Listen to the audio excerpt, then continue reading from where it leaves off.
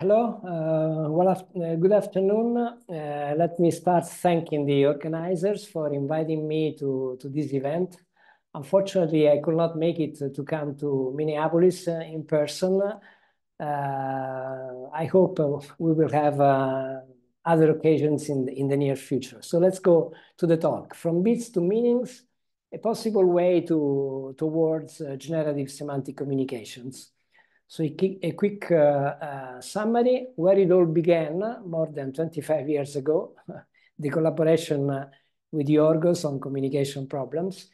And then what's next? How to move from uh, symbolic, uh, let me say, communications to semantic communications. I will mention the, some fundamentals tools, uh, and then I will move to the main theme of this talk, which is about the use of generative models for semantic communications.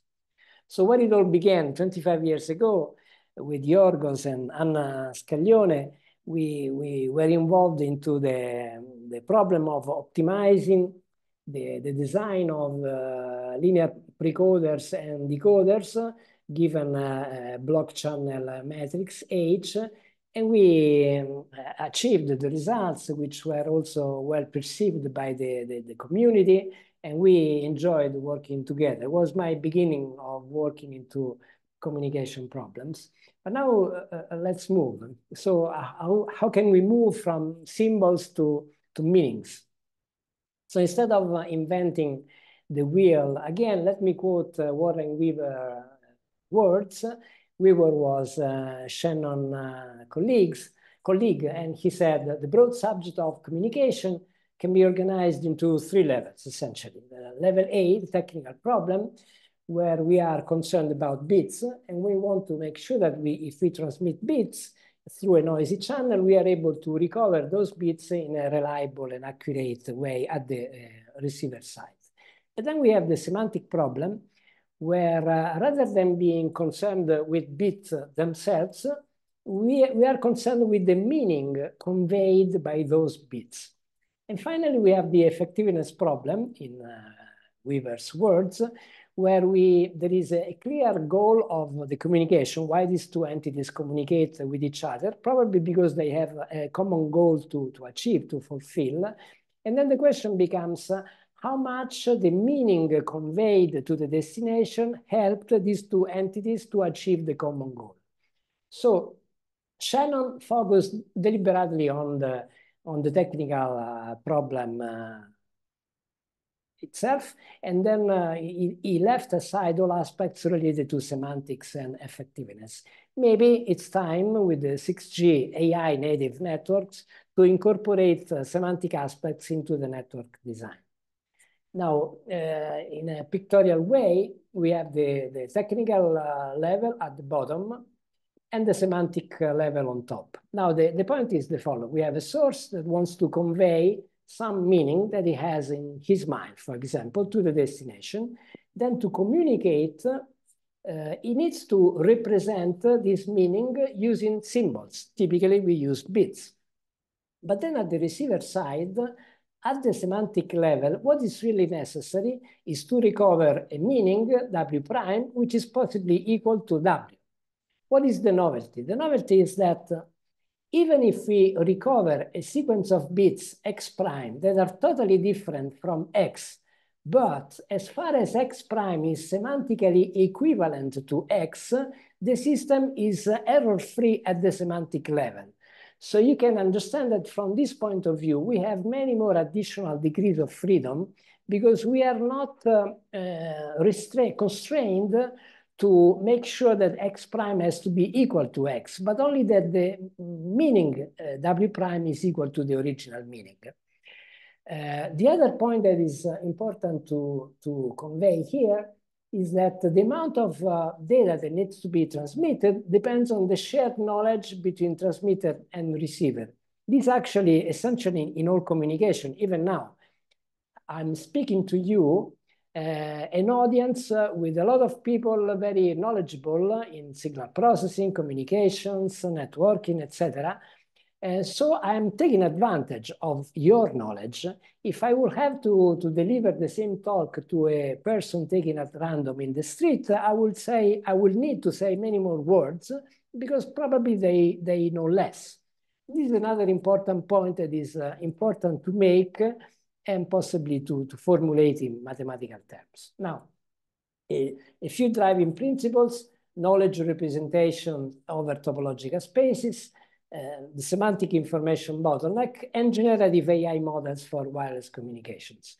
I will not spend much time on knowledge representation because of time limits, but the essential point is that uh, it is important to represent the data over a topological space, possibly a graph or a subcomplex, a simplicial complex, whatever, because in these spaces uh, we, are, we can use the tools from uh, algebraic uh, topology to extract invariants. And invariants are associated to meanings.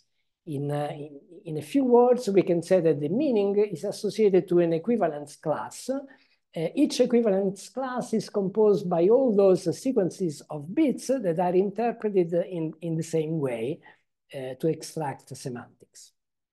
Now, the second important point is the information bottleneck principle, where we have data X to transmit and we want to find the probabilistic precoder phi in such a way that when we uh, use U, the encoded data, we are able to uh, recover um, uh, the decision variables Y. So Y is not necessarily coincident with X. This is an important point.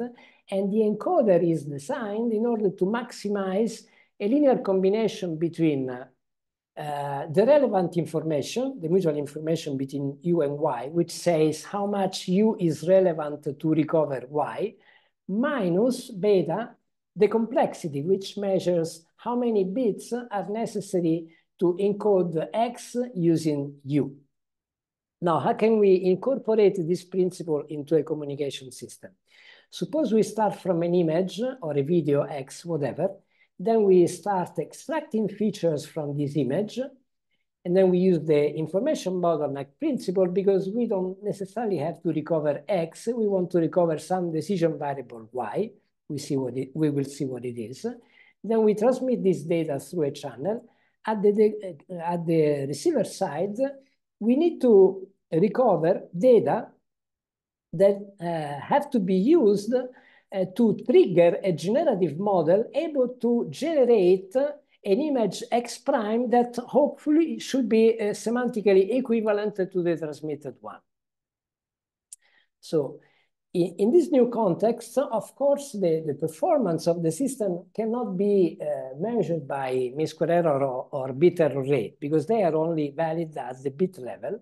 So we need to uh, use some uh, key performance indicator that works at the semantic level. In the computer vision community, is quite common to use, for example, the so-called uh, Frechet inception distance, which measures the distance between the original image and the reconstructed one. And it works like this. It's like you, you train a neural network uh, with uh, a given uh, objective function, for example, uh, classification accuracy. And then you use this vector to extract the latent variables resulting from uh, an input given by the original image or the reconstructed one. Then you measure the distance between the two latent spaces in this way, which is like uh, the distance between two Gaussian multivariate uh, probability density functions. And this is a way to measure the distance, uh, which is invariant to translation, uh, rotation, scaling, etc. So in a way, it measures uh, semantic distance. Now, a, a, very simple example of this idea is to use a variational autoencoder. The first part is used at the uh, transmitter side. We, so we encode an image into a certain number of parameters. We transmit these parameters and we generate an image at the, at the receiver side. So let's see what happens in terms of the goal of communication. So in this case, the goal was classification, where we send these images. Here we plot the classification accuracy in terms of the dimension of the latent vector. So you can see that uh, transmitting either you know, handwritten digit, the, the MNIST data set, or images like in the CIFAR 10 uh, image data set, we can achieve fairly good uh, classification accuracies, even transmitted, uh, transmitting a very low number of bits.